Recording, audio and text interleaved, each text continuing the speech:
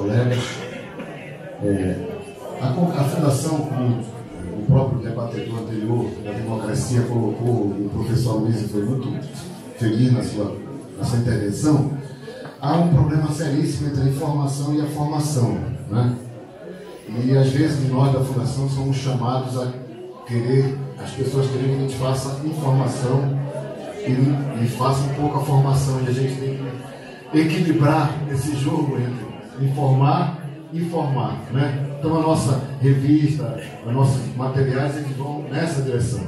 E é, a comissão organizadora dessa convenção nos chamou e pediu a colaboração da Fundação para fazer a reflexão do tema principal, que é a existência verde.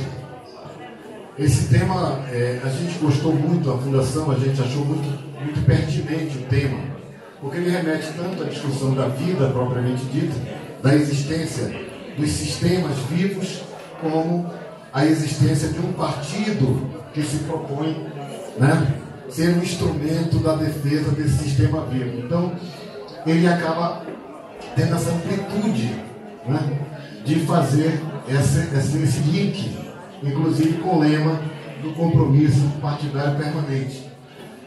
E nós, depois de um grande debate com Conselho Curador, propusemos um documento que está na pasta de todos, que é esse documento chamado Existência Verde, Compromisso com o Partido, Compromisso Partidário Permanente.